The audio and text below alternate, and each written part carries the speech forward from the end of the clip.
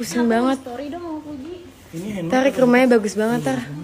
Kak, ini rumahnya bagus banget. Pusing. Kamu main-main please ke sini sering-sering. Ini tanamannya, impian da baby banget dulu. Gemes. Bagus banget sih, Kak.